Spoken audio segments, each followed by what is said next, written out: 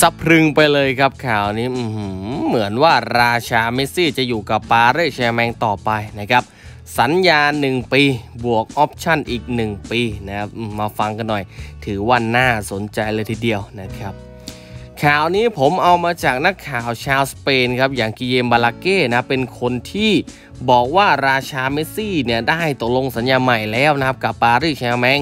ก็คือว่าสัญญาใหม่ของราชาเมสซี่ครับ จะอยู่กับปารีสแชร์แมงไปจนถึงเดือนมิถุนายนปี 2024 แล้วก็มี option ขยายเพิ่มได้อีกปีหนึ่งด้วยนะครับ หรือว่าอีกหนึ่งฤดูกาลนั่นเลยครับ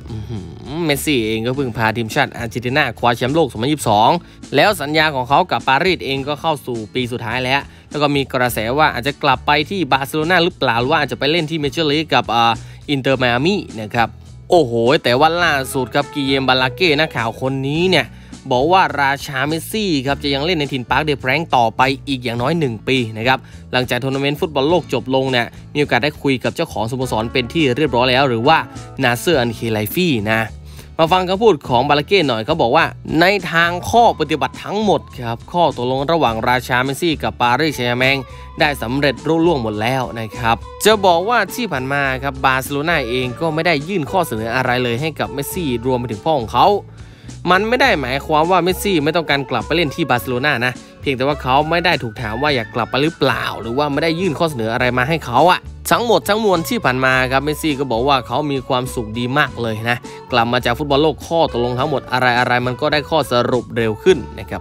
ชีวิตที่กรุงปารีสของเขาก็สมบูรณ์ดีมีความสุขทุกฝ่ายชื่นมื่น และดูเหมือนว่ามีความเป็นไปได้ที่ราชาเมสซี่ จะคว้าแชมป์ยูฟ่าแชมเปี้ยนลีกอีกครั้งหนึ่งกับปารีสแชร์แมงนะครับรวมไปถึงการที่เขาจะถูกเสนอชื่อเป็นตัวเลือกเพื่อคว้ารางวัลบัลลงดอร์อีกครั้งด้วยนะครับ โอ้โห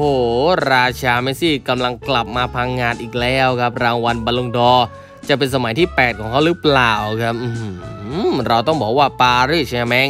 ในยูฟ่าแชมเปี้ยนลีกถึงรอบ 16 ทีมสุดท้ายนะครับต้องไปเจอกับไบเอิร์นมิวนิกดีกรีแชมป์จากบุนเดสลีกาเยอรมันนะครับ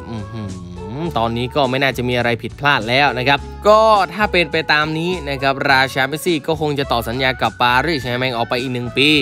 บวก option ขยายเพิ่มอีก 1 ปีละกันนะครับก็ต้องรอว่าจะเป็นยังไงต่ออันนี้ก็นำมาเสนอคร่าวๆให้ทุกคนฟังในคืนนี้ไปก่อน แล้วทุกคนมีความคิดเห็นยังไงคอมเมนต์ก็มาให้ผมเลยนะครับจัดไปเลยครับวัยรุ่นฝันดีราตรีสวัสดิ์ครับผม